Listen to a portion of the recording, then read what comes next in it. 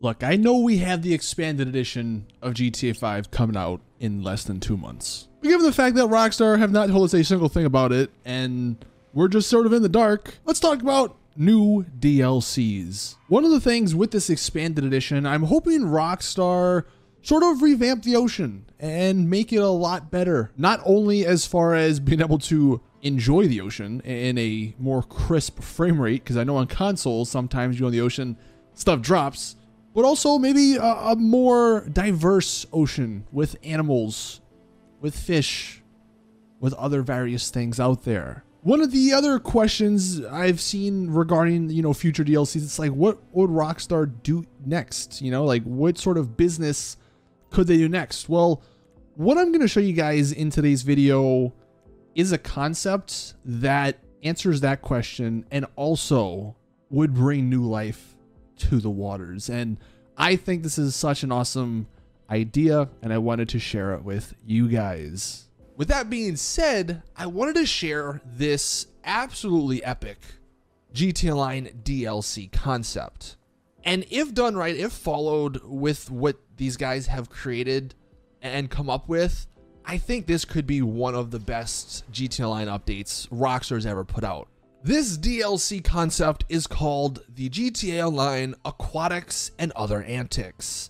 And the actual idea was made by, you can see, Moldy Worm Gaming and Lucifer Reap.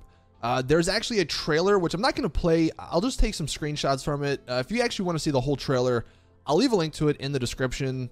I would 100% go watch this trailer. It will actually make you think, wait, Rockstar didn't make this? Like, it's such a well done trailer and it fits with what Rockstar's done in the past it it legitimate when I first saw this, I was like, wait a second, what? There's new DLC. Rockstar made this, uh, but no, it, it, was made by the people that you can see. But uh, it is definitely a good watch. It's only like a minute and a half long. Definitely go check it out. Link in the description. But the aquatics and other antics DLC concept, obviously, it has to do with underwater stuff and just water stuff in general. And this is a part of the map that has been severely underutilized. And this DLC concept adds so much to this area. Over the last couple of months, people have always asked, you know, what could the next business be? And honestly, there's not a whole bunch of ideas out there, at least not on the mainland. But this idea, this concept, introduces some very cool stuff. So let's go ahead and hop in. We'll start with some of the screenshots from the actual trailer before we get into the details. So, of course, we have hoverboats. I've been wanting a freaking hoverboat in this game for so long, and uh, these guys did it. And you can see that is what's showing here. A little tease at the business from this idea is establishing your oil empire, and that's where, of course, the ocean comes into play. And uh, one of the cooler parts about this is that it adds underwater houses or or mansions or I don't know, I guess whatever a property, I guess is what you would call it. And having something underwater would be pretty awesome. I mean, you can just see the giant windows. It would be amazing, especially in this upcoming PS5 edition where maybe animals come back. So imagine having an underwater property where you can see actual sharks, fishes, and other marine life. Here we have another look at some of these stuff underwater. I guess this maybe this is more the oil rig. Some interesting, uh, I guess, vehicles down there. A boat that can become a truck, maybe. Kind of a cool idea. We have flamethrowers in this update. Now, I don't know if uh, using a flamethrower underwater in a glass container that you're in is a smart idea, but it is cool. And look, flamethrower, it's not the most useful weapon, but I mean, who doesn't want that? Of course, we have another submarine. That might be the one we just got. And uh, you can see the property from a distance, and you can see some of the fish out there. Imagine this being you can see where there's some coral reefs. It would just be very unique. And I know some people already spawn on their submarine or their yacht, but imagine having another property out there that you can actually go in and enjoy the inside, right? Because the other ones are kind of cramped.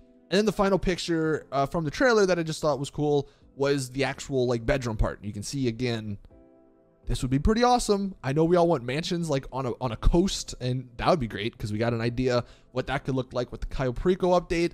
But underwater, this could be even cooler. Now, as for the actual idea, let's go ahead and read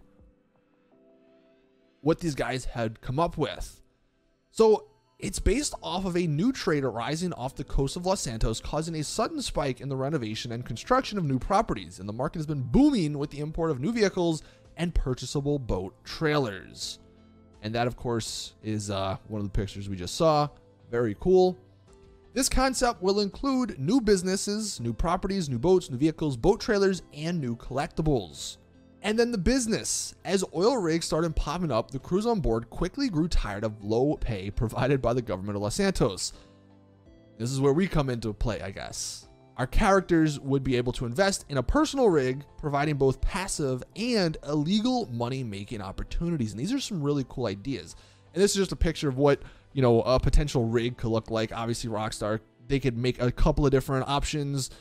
And because they're in the ocean, there's not a limit to where these things could be, right? These things could be all over. And I'm not going to read this entire article. If you want to, I'll leave a link to this as well in the description. You can read through it yourself because most of the stuff would work like regular businesses, right? You just freaking call some guy and you purchase the rig and blah, blah, blah. But as they say, the oil rig, once you buy it, comes stock with a boatyard and a command center. And I guess this is a picture of what the boatyard would look like. Don't know where this would be, if this would be on the rig or if this would be somewhere on land, but some of the other options, of course, you get a personal quarters, an armory, human torpedoes, which is kind of cool. It's an interesting idea. Be a way to quickly travel as short you shoot your yourself out, I guess. But what we all care about is how to make money, and this is a very interesting idea.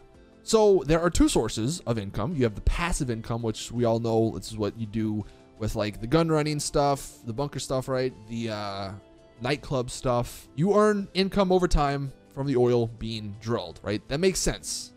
You can see it, what it, you know, is drilling on the computer, how much you have left. You can also see where the barrels being stored. And then, of course, like every other business, if you purchase more upgrades and stuff, you get more money. It fills up quicker.